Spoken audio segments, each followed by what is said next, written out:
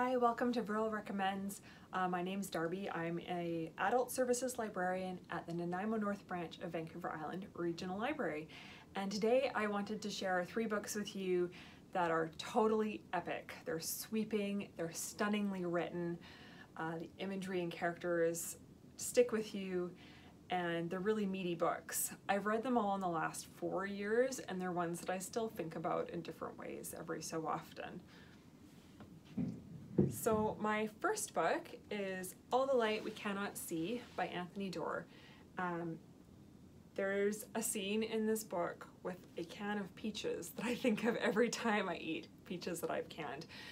This book um, takes place during World War II and it follows Marie Laure. She's a uh, young blind girl in Paris and Werner, and he's part of the Reich and um, the ways that they intersect and um, their lives it's just just just beautiful um, and horrifying but beautiful. It took uh, Doerr 10 years to write it which I totally believe the it's just stunningly um, paced and presented and I um, also like that it is um, it spans Marie Laure's sort of life too it got a national uh, or a New York Times Best Book Award and was a National Book Award finalist. And it's also a favorite amongst library readers. It still has holds on it from 2014. Um, it's a, like maybe the only book my entire book club liked too, which is very notable. And it's available in all formats, including large print, ebook, and e-audiobook if you're a different format reader. The next one is City of Girls. This is the only Elizabeth Gilbert book that I've ever read, um, but it's got that epic feel as well. Uh, she, it's fun, like the I think the feather says it all. Um, extremely beautiful craft in writing it, and uh, it follows Vivian in the 1940s as she's sort of coming of age. Um, she gets shipped off to New York by her wealthy parents at, and gets to uh, experience life at the Lily Playhouse. She's an amazing seamstress, so that's kind of her role there. It's thrilling, it's fun, it's serious and important all at once. And I'll just share a little part here.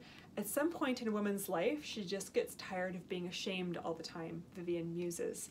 After that, she's free to become whoever she truly is. So that's City of Girls by Elizabeth Gilbert.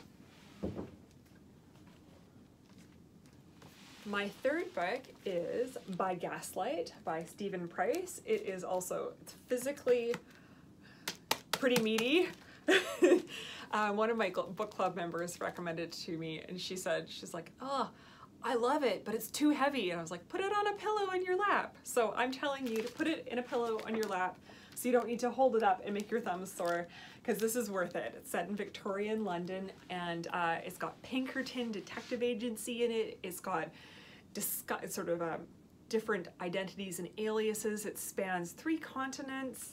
Um, yeah, Steven Price lives in Victoria, which is really neat, and he also writes poetry, which does not surprise me because this book, every once in a while, I just have this these images from this book of the gaslight uh, lamps in Victorian London with all the fog and the pollution and things. Um, it describes some of those Victorian things in ways that are just just achingly beautiful. Um, so it's it's a really, really worthwhile book. Uh, I actually read it as an ebook. Uh, it's available in print and as an ebook. And uh, Giller Longlist, Globe and Mail Best Book. So please enjoy one of my super meaty titles. They're all a bit hefty. If you are looking for something utterly absorbing, these, these will do the trick. Thanks so much.